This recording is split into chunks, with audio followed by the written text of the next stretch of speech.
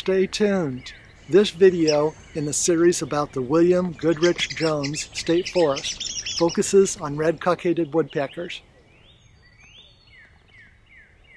This bird is only one of two woodpecker species protected by the Endangered Species Act. The other bird is the ivory-billed woodpecker, and it's presumed to be extinct.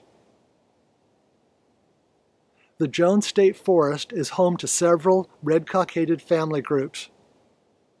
Many actions are being taken to encourage their success. These woodpeckers live in mature pine trees pine trees that have very little midstory. The lack of a midstory provides safety from predators. Historically, periodic fires cleared the underbrush and kept the pine forest healthy. Today, however, natural fires are suppressed because of the chance of wildfires and um, safety for nearby properties. And so natural fires are replaced with prescribed burns Sometimes herbicides and mulching, as well as uh, other manual methods, are used to remove vegetation. To strengthen the current population of woodpeckers with better genetic diversity, a couple of fledgling pairs from Louisiana were transferred to new artificial homes in the Jones State Forest. This is one of the management tools that we use to help our woodpecker populations. Because when they build their own cavity, it can take a year or more for them to build their own cavity, their own natural cavity. So there's a lot of time and energy spent in that. And without those cavities, then they have to roost in the trees, and they're more, more vulnerable to predators and things like that. So in 30 minutes or so, one guy can get up there and put in one of these artificial cavities. Boom, they're ready for the birds right away.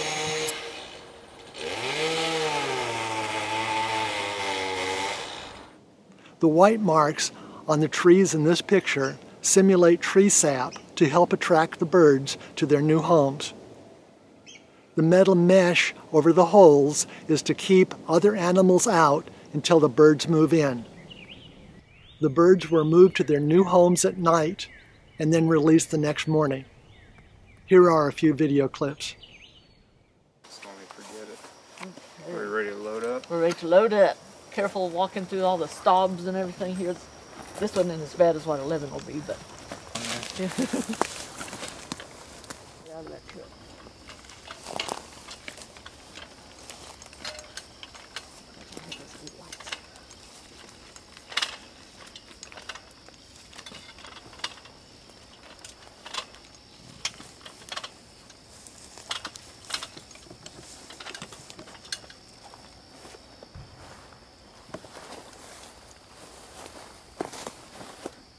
thirty. Dang.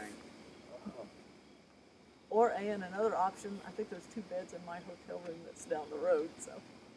I'm all about the outdoors. Okay, good. Thank you, though. I wish I'd thought of it sooner. I would have planned to do that. I have two sleeping bags. Oh, Well, do you? Oh, that's right. I saw that in your.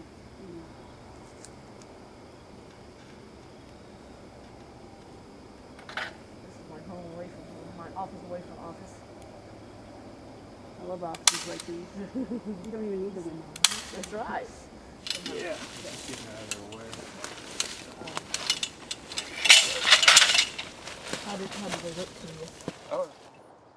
Yeah, I wouldn't plan on looking at it, all right. Now what we're doing here, Mary, is last night, uh, the biologist crawled up there, climbed up there, and took the birds from the cage and put them into the cavity. Them reluctantly.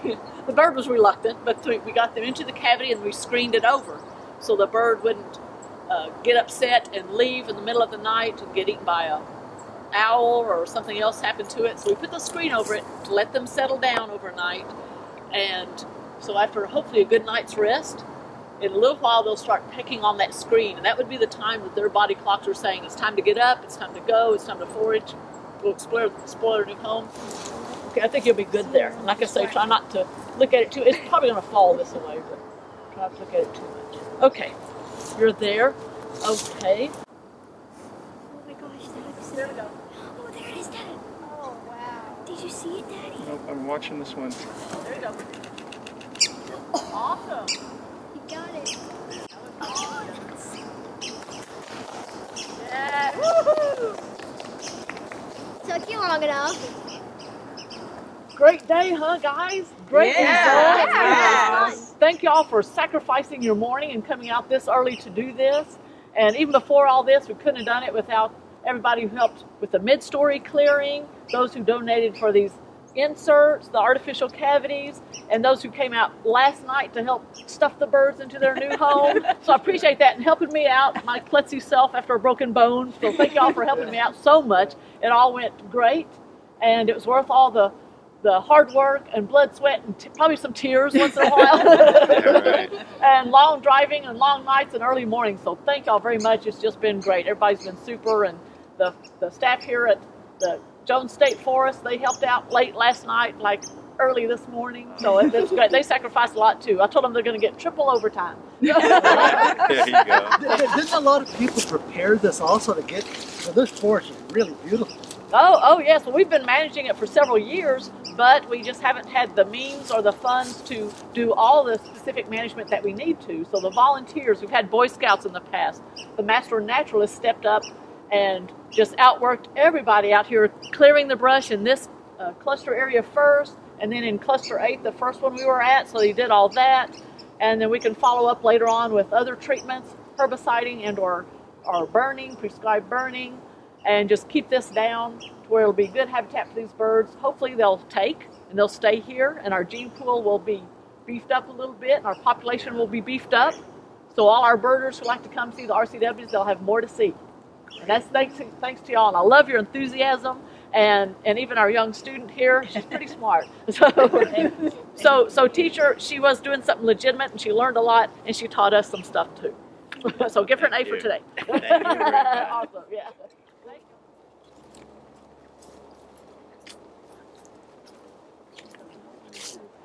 Well, it's been three weeks now since we stuffed the birds into the cavities and screened them over, and then the next morning we released them by pulling off the screens, and they flew out together, chatted at each other once in a while, got together and flew off. So now we gave them a three-week honeymoon. I left them alone for a while to let them settle into their new surroundings, and now what we're looking for today is activity on the trees. The birds are probably off in the forest foraging somewhere right now. We may or may not hear them, probably won't. But we're going to look on the trees that we put the birds into and see if there's activity. If they're pecking those resin wells, making resin flow down, that means that they're using the trees and that they're still around here. Do this. So, so what are you seeing up there? I'm saying just a little bit of resin flow just to the left of this insert. Oh the artificial yeah. cavity. Sometimes you'll see resin flow where they cut the hole in the tree, but that's this is actually from resin well. To the left of the hole Yes. and a little bit down below it. right? And then the other one is to the right of the hole coming down. I just mainly see streaks there. To the left of the hole, I see a few little drops. Yeah. Yeah, you can see a couple little drops, like uh, fairly fresh little drops that are Right. frozen. Like I use the word uh-huh. frozen. Yeah.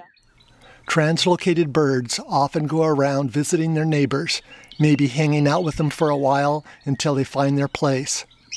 They could even pair up with some of the resident juveniles, not necessarily with those we put them with. As it gets to nesting season in the spring, they will start to settle down somewhere on the forest, possibly where we originally put them, or possibly somewhere else. From photographs and spotting scopes from other birders and from our own birder here, Debbie, I have located three out of four of our translocated Louisiana birds. And let's see here. I think the uh, female that we put in cluster 11, the one on the far south side, was photographed in cluster 12 north, which is still on the south side, but a different cluster, just on the on the uh, north side of the stand that we put them in. The right leg was visible, and I could I couldn't see all the the colors clearly, but from what just by looking at it and guessing at what I thought the colors looked like, and then looking on here, I'm pretty sure it's that female that we put down there. So the conclusion is the translocation project is successful. Yes, I've been told by someone who does it more often that hey, if you find 50% of the birds are doing good, we found 75%. of course, that's how. Well then let's let's give an applause. Let's give a hand. Yay.